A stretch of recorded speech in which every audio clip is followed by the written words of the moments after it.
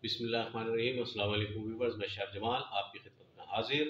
और आज बहुत अहम दिन के मौके पे आपसे मिल रहा हूँ। और आज माशाल्लाह ईद अज़हा है, बकरा ईद है। और इस पर तरह तरह के खाने बनते हैं, कुर्बानियाँ होती हैं। और व्यूवर्स ये याद रखिएगा, इस कुर्बानी के जो सही हकदार हैं, उन तक ज़रूर ये गोश्त हमारा, जो भी हम करते हैं घर में, जितने भी हमारी इस्तात है पहुँचना चाहिए उनको, क्योंकि वो ज़्यादा हकदार है इस चीज़ के।